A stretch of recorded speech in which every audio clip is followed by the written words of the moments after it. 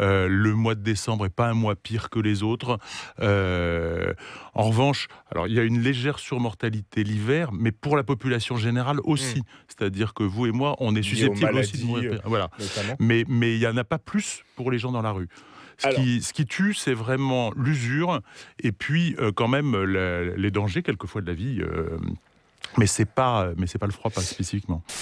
Il y a des porteurs sains, c'est-à-dire qu'on a un portage notamment nasal dans le nez de ces bactéries qui vont, pour des raisons d'immunité, qui ne vont pas passer et qui vont, notre immunité va être plus forte que la bactérie. Et euh, quand l'immunité baisse un peu, eh bien, ce, ce portage sain va se transformer soit en maladie, la méningite, soit va pouvoir être euh, contaminant pour Mm. d'autres personnes.